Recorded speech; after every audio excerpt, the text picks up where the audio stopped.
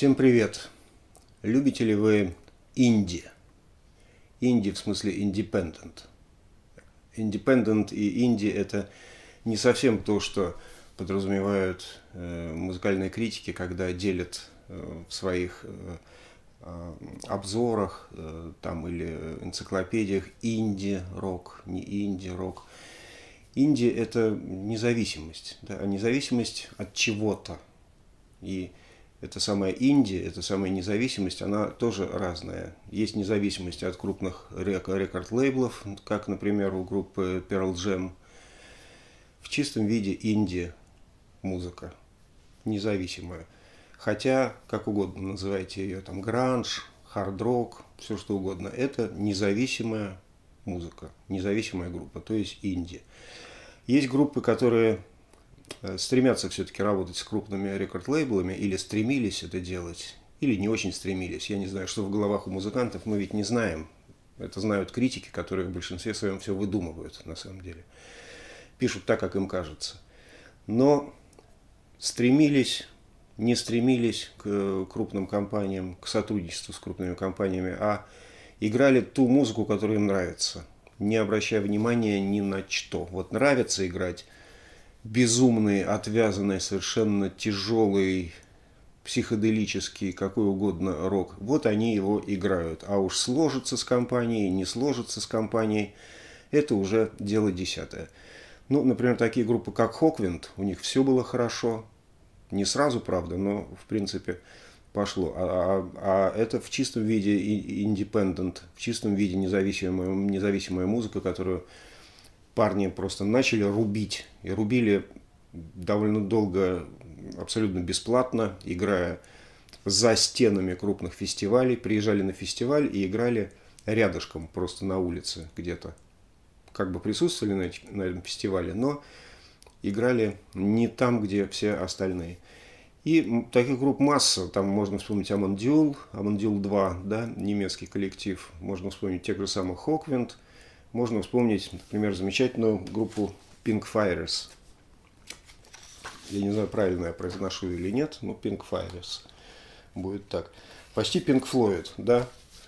Даже похоже, свинки даже летают. Это было задолго до того, как свинки стали летать у Pink Floyd.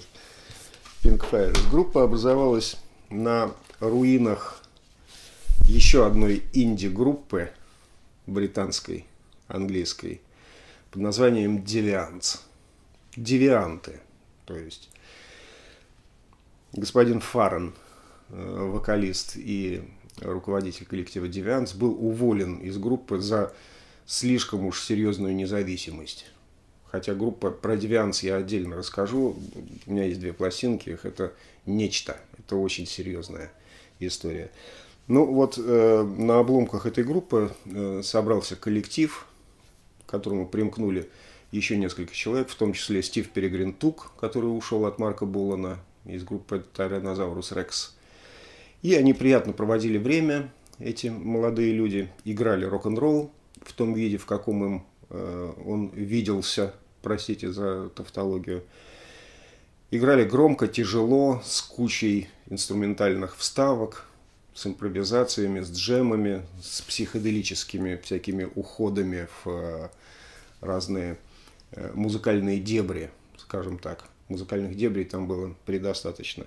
Но в конце концов состав стабилизировался, Фарн ушел опять-таки. Он большой любитель был менять э, проекты. Стив Перегринтук тоже ушел, пришел зато господин Твинк, которого зовут Джон Твинк, Алдар. Твинк – это барабанщик, который играл в группе Tomorrow с участием Стива Хау. Очень серьезная группа, очень крутая, очень сложная, очень технически навороченная, при этом с хорошими песнями. Стив Хау ушел из этой группы в ЕС, а Твинк ушел в свободное плавание. Э, у Tomorrow, кстати, одна пластинка всего вышла, но она фантастическая, она настолько интересная, настолько музыкальная, что ого-го. Я про нее говорил э, на одной из встреч с Дмитрием Юрьевичем Пучковым, но э, расскажу про нее еще и соло, потом отдельно. И Твинк слился с этой замечательной компанией обломков девианс и примкнувших, э, примкнувших к ним любителей хорошей музыки. Стал играть на ударных в компании и сложился состав Дункан Сандерсон бас-вокал, Рассел Хантер ударные. Эти два человека, кстати, до третьего тысячелетия остались в составе э, Pink Fires. Вот эта пластинка, которая вышла в 2017 году, Pink Fires, здесь играют как раз два этих замечательных парня. Твинк ударные и Пол Рудольф, который сменил э, ушедшего в небытие музыкальная э, вокалиста Фарена, стал петь и играть на гитаре. И вышла у них пластинка в 1971 году под названием Never, Never Neverland. Очень советую для тех, кто любит Хоквинд, для тех, кто любит Pretty Things, для тех, кто любит Tomorrow, для тех, кто любит навороченный, независимый британский рок старого разлива, 71 год. Это не, умно, не умное, вот так и не умничание какое-то психоделическое, не попытки играть какой-то, то, что называется, не люблю это словосочетание, арт-рок или там прогрессивный рок. Это вам не Эмерсон, Лейк и Палмер, не какие-то еще эти вот заезды там типа Genesis или Yes. Это рок. Это прямой настоящий, зверский, хороший рок. Ну, мы все, э, все определяем э, путем сравнения с чем-то, с кем-то, да. И сравнить этот стиль можно много с кем, но по плотности, по наполнению, по палитре это ближе всего, наверное, к Дэху. Хотя Ху, Ху писали другие песни, здесь свой подход, свой взгляд – но по плотности, по э, манере игры на гитаре, такой полуаккордовый, полусолирующий или аккордовый с наложением соло, чего уху не было, кстати э, говоря. Вот такой плотняк ху, если кому-то нравится. Смесь ху и хоквинд. Вот, наверное, так можно сказать. Дует первый номер, где поется просто it, do it. Хит не, не знаю, на века, не на века, но серьезная штука. Пробивной, гитарный, пр пр прошибающий просто насквозь рок. Очень хорошо все сыграно. Heavenly Man, следующая песня. Она на удивление начинается как лирическое, такое лирическое полотно. Потом въезжают все-таки гитары с басом, с барабанами. И мы вспоминаем, что это рок-группа с большой буквы «Р». А, вот я скажу вот так вот, с большой буквы. Say You Love Me ближе к рок-н-роллу, но очень тяжелому рок-н-роллу. Очень-очень тяжелому рок-н-роллу. War Girl такая штука, она очень плотно звучит. Вообще звучит все очень плотно, очень вот просится слово вкусно, хотя применительно к музыке я его не люблю, но очень-очень насыщенно звуком, и никакой, ничего лишнего, никакой фальши, но, но всего при этом очень много. И, и такая музыка, в которую можно погрузиться, тяжелая при этом. Так вот, а War Girl, она немножко чуть полегче, и она где-то отдаленно напоминает э, произведение, наименее блюзовые произведения Fleetwood Mac блюзового периода. Вот когда они играли наименее блюзовые произведения, вот где-то что-то с War есть. Never Never Land – девиз, название пластинки, заглавная песня. Она тоже достаточно легкая, но она какая-то такая гимнообразная, очень хорошая. Ну, а на второй стороне, чем дальше, тем больше рока. Тор 58 секунд, просто инструментальчик, это второй номер. Трек One Side Two песня называется. Песня, первая песня на второй стороне тяжелая штука, но третья вещь перешибает все на свете. Teenage Rebel называется она.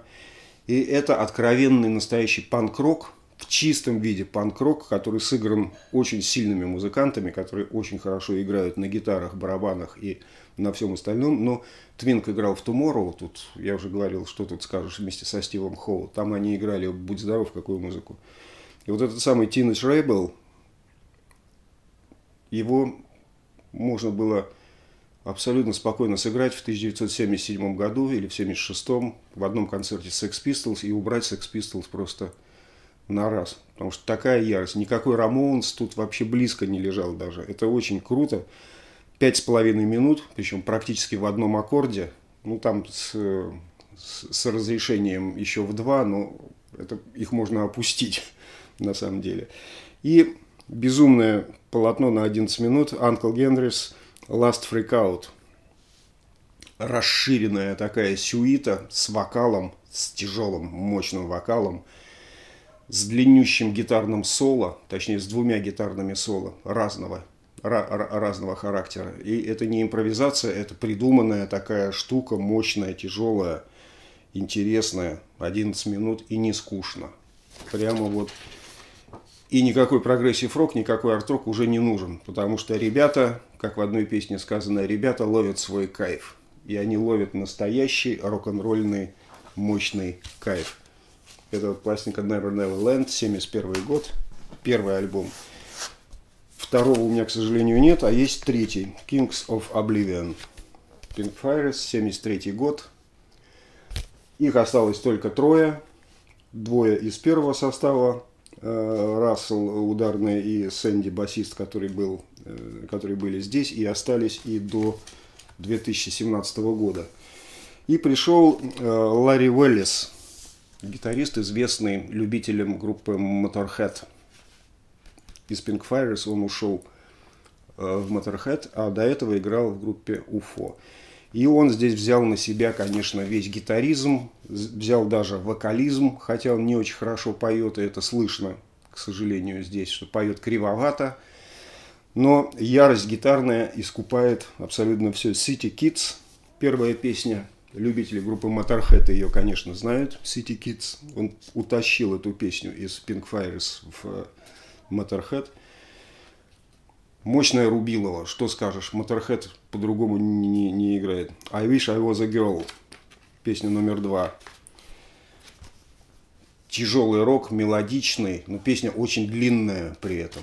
Хотя без всяких уходов вот в эти, в какие-то полеты, импровизации, что-то такое, смену ритма. Нет, вот мы рубим гармонию, поем мелодию, играем соло, рубим гармонию, поем мелодию, мелодия хорошая, рефрен красивый, все мощно и очень длинно, грандиозно, просто грандиоз, грандиозно.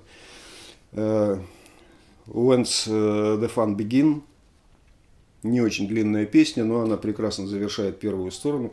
А вот вторая сторона мне не очень нравится. Там тот же самый тяжеляк, тот же, тот, тот же самый подход. Рубим гармонию, играем соло, поем мелодию, грохочем на барабанах, но какие-то песни не очень запоминающиеся. Но первая сторона, первые три песни, они просто ломовые. И вот вам привет, любители, любителям группы Pink Floyd, Pink Fires, 1973 год, Kings of Oblivion.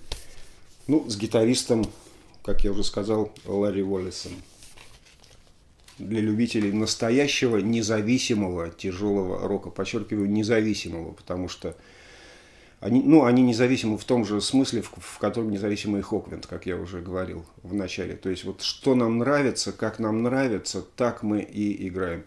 И что самое приятное, я был удивлен, когда увидел вот эту пластинку Pink Fires – и спрашиваю в магазине, это что, сборник, наверное, какой-то? А я еще не знал, что они существуют и в третьем тысячелетии. Я привык, что это старая группа 71-73.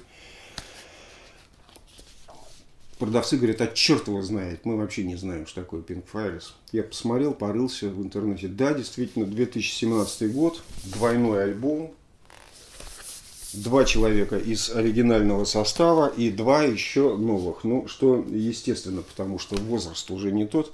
Но кайф в том, что вот на этом альбоме очень хорошо записано все, очень все хорошо сыграно. Ну, естественно, стаж у артистов ого-го какой.